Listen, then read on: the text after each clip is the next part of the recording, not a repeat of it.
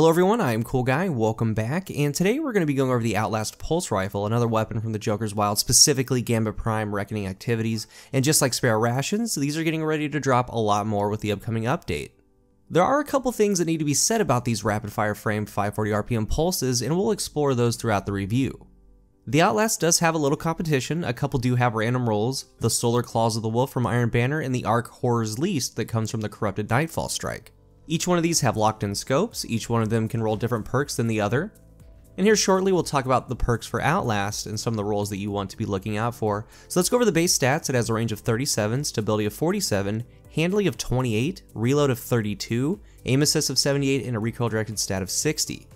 And out of those three, Claws of the Wolf, Outlast, Horror's Least, the Outlast has the lowest range, it has the lowest handling, and it's tied for the lowest aim assist. It does have this medium zoom scope that helps out with the range a little bit. The rapid fire frame in general has a couple of good qualities. For one, deeper ammo reserves. These types of frames are really good for activities in mid to longer distances, good for areas where you're kind of under leveled. It's nice to have that extra ammo. And it's also nice that when you spend the magazine, you get a fast reload. But it also has some very bad qualities, as we talked about, the 28 handling, the 32 reload. These frames, not just Outlast, which also happens to be the lowest of the three that we're talking about today, they're very clunky. The one poor quality about them, they're very sluggish, they feel heavy in your hands, even though they don't really look like it. This changes what we want in our perks. This changes how we want to approach a roll. The handling is tied to your aim down sight speed, tied to switch speed, things like that. If you need to pull up your weapon in a heated moment, these stats don't allow it, and for your reload, unless you have a reload perk on your armor, you get to the end of the mag, or a perk on the actual pulse itself, the reload is abysmal. That gets us into the perks. For the barrels, we have eight options. Your usual suspects are in there. Arrowhead Brake is nice, Chambered Compensator is nice, but the one you really want to look out for is Fluted Barrel. Fluted Barrel is the single most helpful perk that you can get on a 540. Greatly increases handling speed, it gives plus 15 to the stat, and slightly increases stability, it gives plus 5 there. Take a look here compared to my Horror's Least, and we'll talk about the full roll on my Horror's Least later on in the review. It does have Fluted Barrel, and getting that handling up is what these really need. Even a handling masterwork is a nice addition. For the magazine, the top four that you really want to look for are going to be flared magwell, steady rounds, accurized rounds, and drop mag. Each one of these helps with what you want to do with this particular pulse archetype. Some add stability, others range, drop mag for your reload, and flared magwell to bump up that very low reload stat. In the first perk node, we have full auto. This actually works on this archetype. Some players like it, some players need it. I personally look for other perks, but it isn't a bad choice. Outlaw, good perk obviously, but since we shoot a burst of 3, the final blow needs to be a headshot. That doesn't happen as much as we would like to with a pulse rifle. It's not a precision weapon. Under pressure, it's good on these, it's undervalued actually, because you get to the bottom half pretty fast, and as you do, you get more accuracy and stability. So you spin the mag, get all those buffs, and then you get a fast reload because the frame. We have Feeding Frenzy, faster reload on kill, any kill, it could be a headshot or a body shot, it's not as fast as Outlaw, but it does a great job. I value and weight Feeding Frenzy over Outlaw on these. Then we have Rangefinder, one of the top tier perks for pulses, period. It adds to the zoom factor, adds to your range, makes it a little bit more sticky. In the second perk node, we have Rampage, great perk. Kill Clip, great perk. For PvP, I value it over Rampage. We have High Impact Reserves. It's not the best perk, but if you go with that philosophy of just spinning the entire mag, getting to a reload, it does its job. We have Demolitionist. Kills with this weapon generate grenade energy. Activating your grenade ability reloads this weapon from reserves. I love this perk and I love this perk for this pulse because it's an outlier. The others don't have it. It's really good for a grenade build, and I've been using it on Sentinel Titan to get more suppressor grenades. The energy that you get back is small, but it does help and it does give you more grenades. Also, because this thing has a slow reload, when you throw the grenade, it fully reloads the magazine. And then finally, Snapshot. Usually when we talk about Snapshot, we kind of gloss over it as a good perk. It's very straightforward, but on this, it really helps its main weaknesses that aim down sights. It's a top option for it.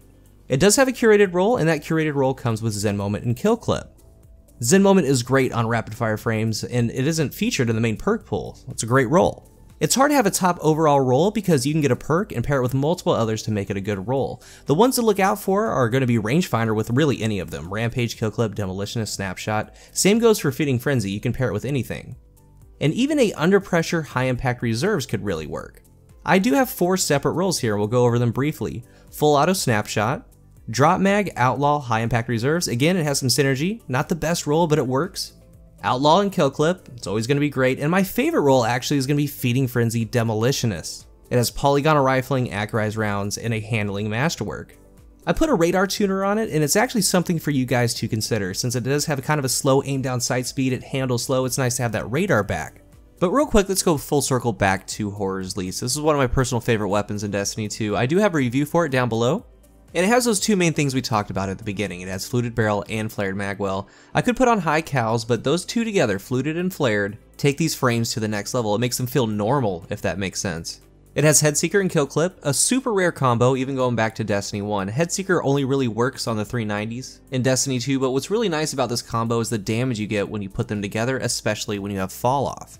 To me personally, this is the recipe for these frames. Fluted barrel and adding flared is the other big bonus. It rounds them out and makes them 100% feel better in your hands, and I encourage you guys to look for it.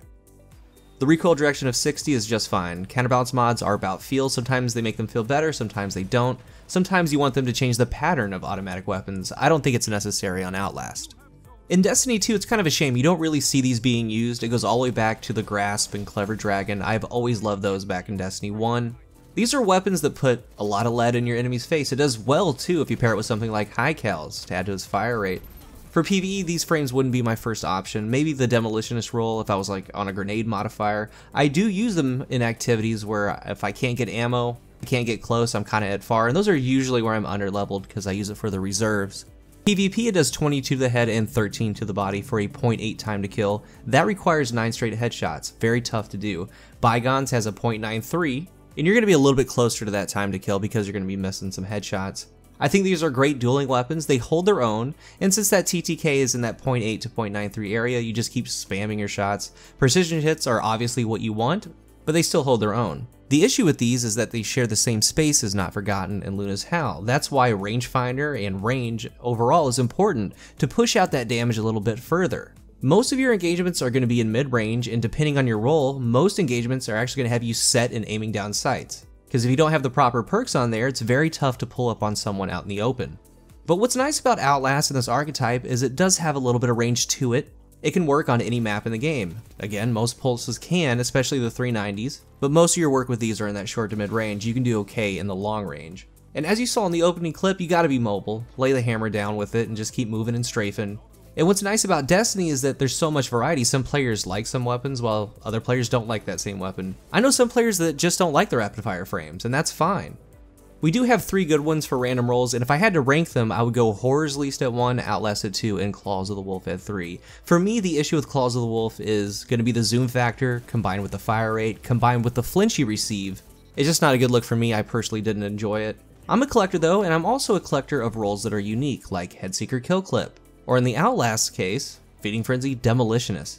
But even if I didn't have Fluted and all the other perks that I have on Horror's Least, I would still rank it as 1, due to its base stats and its scope and its ease of use.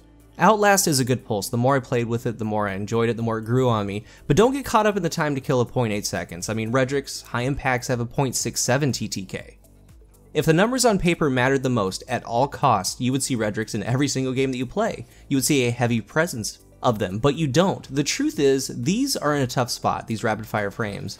They do have the TTK to compete, they're more than usable, but Bygones, the 390s of the .93, the Blast Furnace has a .73 and they have more range. Players feel a little bit more comfortable with them. These are kind of like those, they have a relaxed time to kill and the whole goal with them is just to spam and strafe. In conclusion, if you're a fan of the 540s, this one has some really good perks, it has a good scope. Be on the lookout for Fluted Barrel as your barrel option, Demolitionist is unique to the Pulse Rifle class. Look for it as well, but overall, Outlast is a good addition to your loadout. So if you're new to the channel, remember to hit the subscribe button. If you are subscribed, thank you so much for your continued support. What do you think of Outlast? What rolls do you have? Let's talk about it in the comment section. Thank you guys for watching, and until the next one, I am Cool Guy.